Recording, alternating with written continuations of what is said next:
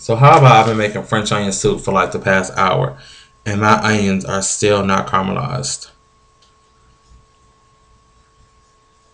French onion soup is time consuming. If you guys don't know, like for you guys who are like cooking impaired like I used to be, let me tell you something about some French onion soup. These onions literally have been in that pan, the sauna, for like an hour. 45 minutes maybe, minimal and they're just now getting down to like you know broken down, nice and French oniony, and we're getting there slowly but surely. So um, I'm not sure what this this video is supposed to be about, but I'm just gonna scroll through. Um, oh, it's gonna be about Beyonce. So did y'all hear about the class? There's a school, um, Rutgers University, that's offering a class on Beyonce.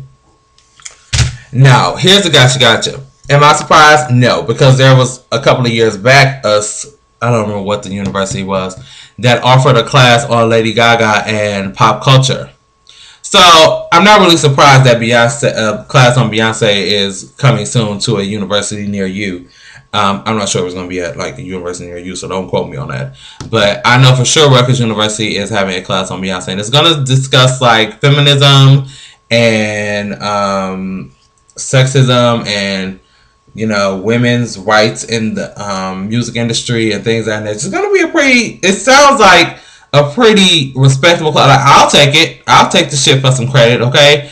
Um, and a lot of people are upset. Now here's why. Here's why they're upset. I don't find any damn reason in their upsetness, but I'll tell you why this. They're upset because they feel like their tax dollars are being paid to a teacher to teach a class on Beyonce. They think when they hear that the class is essentially surrounded around Beyonce, they think they're gonna be like learning about how she was running around the block in six inch heels when she was twelve.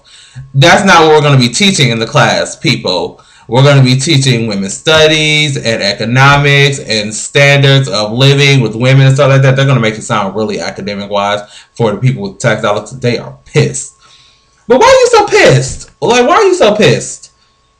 Like, people need to know about pop culture, I believe, because it's something that's very important. Like, the world runs on, like, even like stuff that we don't even know is pop culture, is pop culture. Like, this bag of Doritos.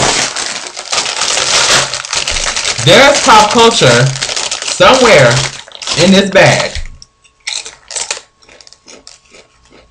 Oh. You can't just eat one Dorito. I'm sorry. But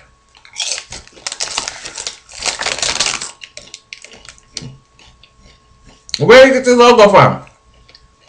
Pop culture. Um, I'm going to fuck these Doritos up when this video is over. You have no chance, bad.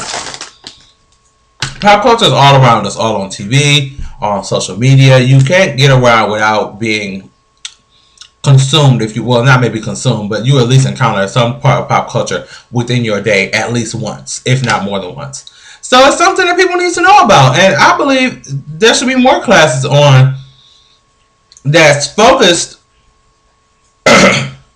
on celebrities, but it's like a broader aspect of it. You know, they tie in women's rights and sexism and stuff like that all while being focused on Beyonce's career tying all these things onto it. I think it's a very good idea, actually. like I said, it would get me to take the class, and I can't stand college. So that says a lot. So I'm down for um, pop culture classes. Give me a class on Kesha. I'll be there all day. And the um, the effects of alcohol. Because, you know, Kesha like to drink. I like to drink too. So I'll take that class. Um, yeah, let me know what you guys think. Are you here or there? Here for it or not here for it? Let me know what you guys think. I love you guys watching.